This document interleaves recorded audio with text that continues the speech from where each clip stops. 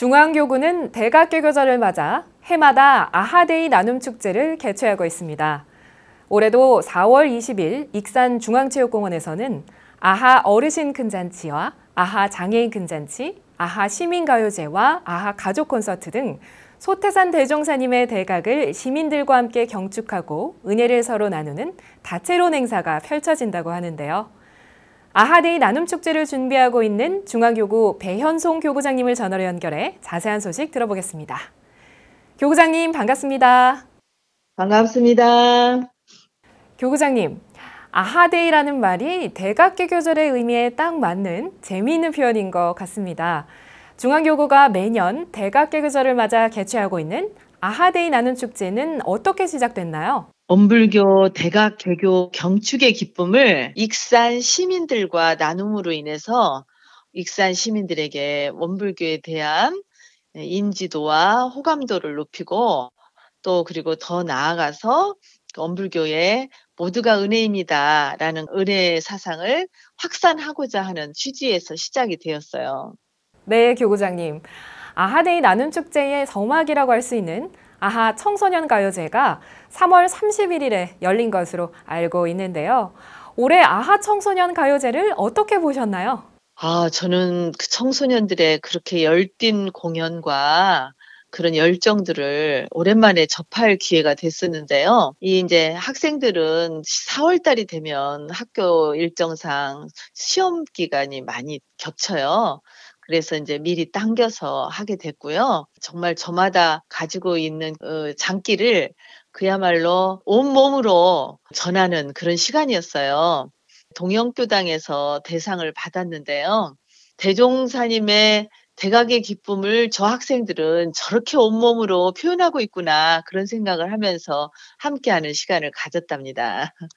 네. 대종사님의 대각의 기쁨을 청소년들의 감각과 열정으로 표현하는 가요제였던 것 같습니다. 그리고 교구장님, 중앙교구는 대각개교제를 준비하며 은혜의 쌀 모금운동과 희망 거북이 저금통 모금운동도 전개하고 있다고 들었는데요. 마련된 재원은 어디에 사용되나요? 지금 저희가 아하데이 나눔 축제를 하는 거잖아요. 이때 이제 모든 교도님들이 모은 그 저금통과 쌀을 통해서 이 나눔 축제 기간 동안에 전달을 하는 거거든요.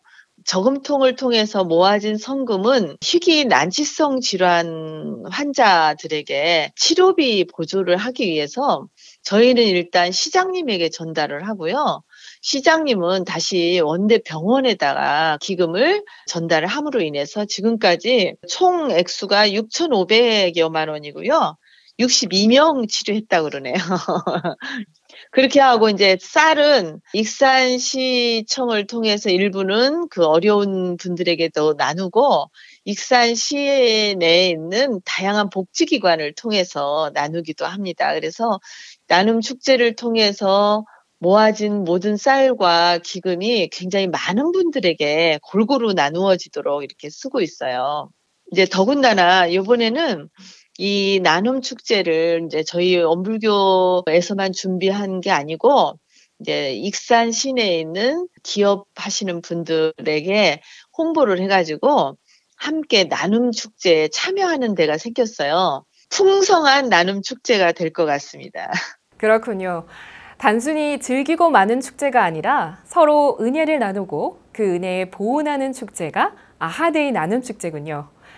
교구장님, 아하데이 나눔 축제의 본 행사는 4월 20일에 열리는 것으로 알고 있습니다. 어떤 프로그램들이 준비되고 있나요? 중앙체육공원은 굉장히 중심가에 있는 공원이고요. 여러 가지 여건이 좋은 곳이에요.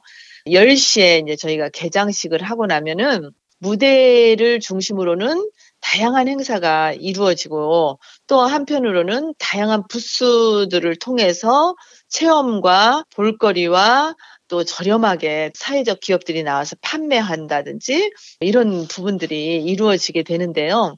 그 봄 무대에서는 어르신 큰 잔치를 원강 효도마을에서 주관해서 지역 내에 있는 어르신들을 전부 초대해가지고 어르신들이 공연도 하고 장수상 시상도 하고 어르신들에게 대각국수 나눔을 하는 형태로 어르신 큰 잔치가 진행이 되고요. 점심 먹고는 다시 이제 장애인 큰 잔치, 익산시 장애인 복지관에서 주관해서 익산에 있는 장애인들을 전부 모시고 장기 자랑과 함께 장애인의 날 행사를 합니다. 그날이 4월 20날이 장애인의 날이에요. 이날 하게 되는 장애인 큰 잔치는 더욱더 의미가 깊을 거라고 생각이 됩니다. 그리고 나면 또 오후에는 4시부터 아하 시민 가요제라고 그래서 시민 누구나 참여해서 노래를 부를 수 있는 그 마당이 펼쳐지게 되고 이때에는 이제 초대 가수도 강진이라든지 박구윤, 나야 이런 초대 가수도 초대를 해서 좀 더 흥미를 돋아줄 수 있는 그런 게 시간이 될 것 같습니다. 그렇게 하고 저녁 때 가족 콘서트 그래서 남녀노소 누구나 참여할 수 있는 콘서트를 원음방송과 함께 진행하게 됩니다. 여기에는 신유, 금잔디, 조은정, 홍원빈, 뭐 여행 스케치, 라붐, 해걸스, 누아르, 해시태그 초청을 해서 남녀노소 다 참여할 수 있는 콘서트를 그렇게 준비하고 있습니다. 네, 교구장님. 올해 아하데이 나눔 축제에 참여하는 재가 출가 교도들과 익산 시민들에게 전하고 싶은 말씀이 있으실 것 같은데요. 어떤 말씀일까요? 꽃피는 봄날에 진리를 깨달아서 우리에게 진리의 눈을 뜨게 해주신 대종사님의 은혜가 굉장히 크잖아요. 조금이라도 보온이 되고자 이 아하데이 나눔 축제를 준비하고 있는데요. 많은 분들이 나오셔서 이 시간을 통해서 정말 없어서는 살 수 없는 은혜의 관계, 서로 서로 은혜를 나누고 그 은혜가 은혜 나눔을 통해서 행복해지고 그리고 대종사님께서 진리를 깨달으시고 우리는 모두 한 형제라고 하신 그런 것들을 하나로 느끼면서 행복한 익산 시민이 되었으면 좋겠다 하는 생각이 듭니다. 행복 나눔을 위해서 나눔 축제 많이들 오셨으면 좋겠습니다. 네. 올해도 아하데이 나눔 축제를 통해 대종사님 대각의 기쁨을 나누고 서로의 은혜를 발견하는 시간이 될 것이라고 믿습니다.